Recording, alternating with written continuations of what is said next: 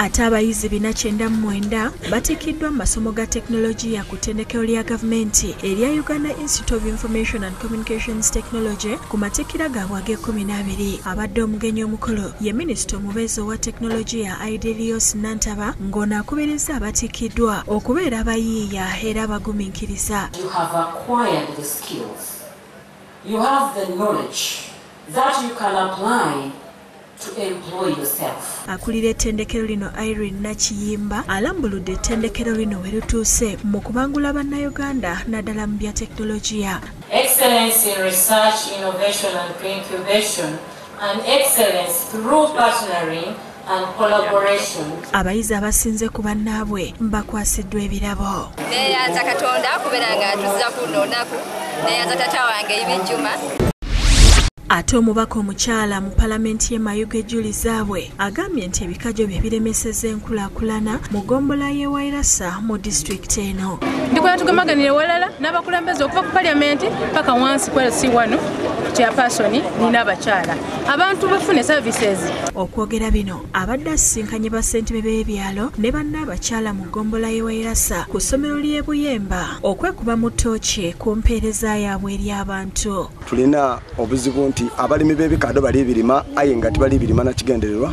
Fuusa ekizibu gye tuli nga bitulembesa okufuna amasanyalaze mu wairasi asabu kawunti naye mukama mulungi lunale bwaffe nagezaako nibatuleetera polos bya siminti bya konkuliti mariam naigaga nga yembaka omukyala owa disitulikiti ey'e namutumba naye abaddeyo n'asaba abatuuze okukolagana n'abakulembeze baabwe. Omukulembeze aba n'amaanyi agakola ng'abantu ba wansi bemereire naye kwokulonda banaakwatira nrm bendera. Mu disitulikiti ey'e kasanda kuwedde nga kukulembeddwa kamishona wa nrm mu kitongole ky'ebyokulonda arisimira babiha jeni ng'ayambibwako akulira okulonda mu nrm e kasanda jori mary muliika abeesimbyewo mu kamwifu kano babadde mukaaga nga bawanguddwa nawira nalubowa ng'ono wakuvuganya ku kifo ky'omubaka omukyala ate babagala ekifo ky'obwa ssentebe. Babadde basatu nga bawanguddwa ziyadi kalema katongole akola nga ssentebe ow'ekiseera e kasanda kubanga bwekyali mpya nga tufuna ekifo ky'omubaka omukyala nakikiikira mu paliamenti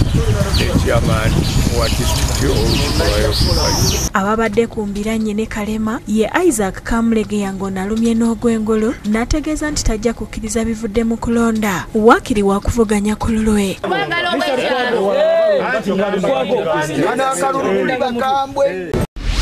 ebyo nga biri bityo. Omumyuka wa ssentebe wa nrm mu buvanjuba captain mike mukula yeekokkodde eddogo mu kibiina kya nrm lyagambye nti nkonga ennene. Fitina okuloga.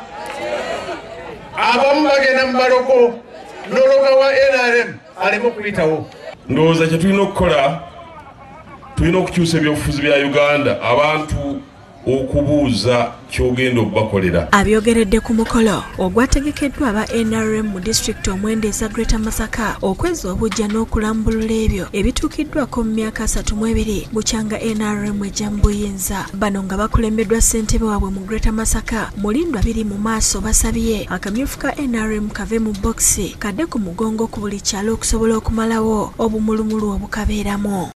Atiko ana mu nnya akatundu ssatu ako constitution ye nrm kakyusibwe tujjewo okulonda kw'ekibokisi abantu basimbe mugongo